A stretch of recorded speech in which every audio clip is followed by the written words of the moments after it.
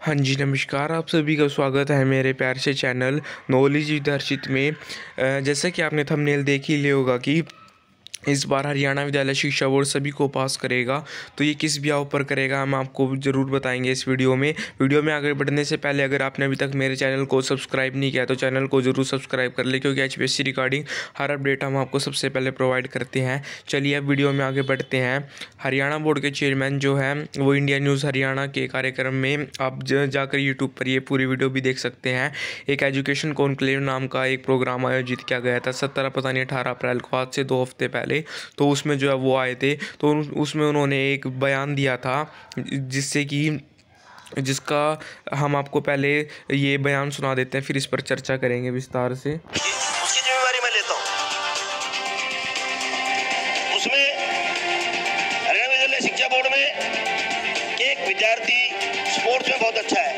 उसको फिजिक्स नहीं आती मैथ नहीं आता। जस्ट उसने जो स्किल के पंद्रह सब्जेक्ट किए हैं जी।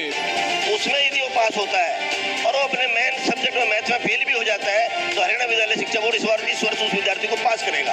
ये पॉलिसी बनाई हमने लेकिन जिस बात का ज़िक्र पर...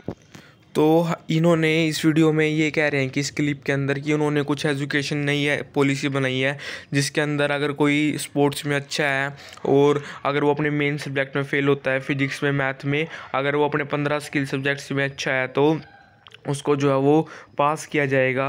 तो भाई हमने इस पॉलिसी के बारे में गूगल पर सर्च करा, पुराने अखबारों में भी सर्च करा तो हरियाणा बोर्ड की वेबसाइट पर भी देखा तो इस बार जो है प्रोस्पेक्टस भी चेक करा पूरा इस साल का भी, पिछले साल का भी। तो कहीं पर भी जो है ये स्किल सब्जेक्ट्स का जो चेयरमैन ने बयान दिया है, इस मामले में अभी तक इसका कुछ भी स्पष्टीकरण नहीं हुआ है। कुछ चैनल्स जो है वीडियो बनाकर अफवाह भी फैला रहे हैं कि इस बार हरियाणा बोर्ड सभी को पास करेगा। जबकि अभी तक इसकी पुष्टि नहीं हुई है। ये खबर केवल जो है हरियाणा बोर्ड के चेयरमैन ने कही है। अगर जब तक ऑफिशियल लेटर नहीं आ जाता, तब तक कुछ भी स्पष्टीकरण नहीं है और ये बयान भी जो आधा अधूरा है, क्योंकि ना इससे ये नहीं स्पष्ट होता कि ये टेंथ वालों के लिए है या फिर ट्वेल्थ वालों के लिए ये बयान आया है। और पंद्रह स्किल सब्जेक्ट्स की हम बात करें तो हमने वो भी सर्च करें। हरियाणा बोर्ड में ऐसे कोई भी पंद्रह स्किल सब्जेक्ट स्पेसिफिक नहीं है जिनकी ये हरियाणा बोर्ड के चेयरमैन ने बात करी है। तो अभी हम जो है, इस बयान पर कुछ भी नहीं कहा जा सकता। ये जो है आधा अधूरा बयान है। तो जो ये अफवाह फैला रहे हैं कि इस बार सभी पास होंगे।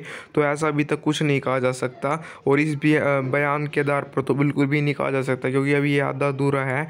अगर मतलब कुछ भी रिज़ल्ट के अगर कुछ भी नई एजुकेशन पॉलिसी के तहत कुछ भी चेंज होता है, वो इस साल से या फिर अब जो जून के अंदर रिज़ल्ट आएगा, इसमें तो हम आपको सबसे पहले प्रोवाइड करवाएँगे।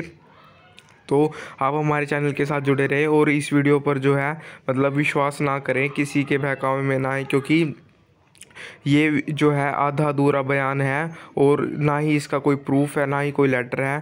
तो हम आपसे यही सलाह देंगे कि अभी आप जल्दबाजी में कुछ भी फैसला ना करें। इस वीडियो को अपने फ्रेंड्स साथ ज़्यादा से ज़्यादा शेयर करें ताकि उनको भी सही बात का पता चले। धन्यवाद।